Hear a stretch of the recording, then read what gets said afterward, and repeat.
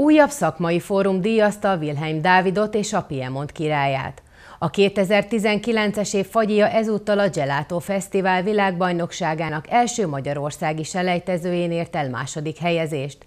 Az édes alkotás így bekerült a 2024-es fináléba, ahonnan majd a két legjobb kompozíció jut be a 2025-ös megmérettetésre. Három éve minden magyar fagyit maga mögé utasított a tejszínes fagylaltalapot Piemonti magyaróval, valamint saját gyártású ropogóssal és nagy récsei szederből készült szósztal ízesített hűsítő.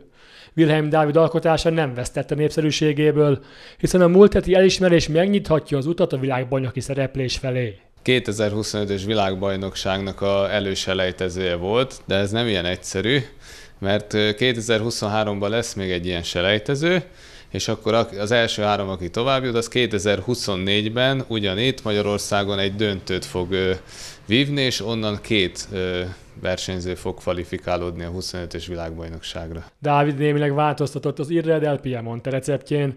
Ennek a fő oka az volt, hogy sikerült vásárolni egy különleges magyarófajtát. Mindig változtatok a fagylalton, a receptúrán.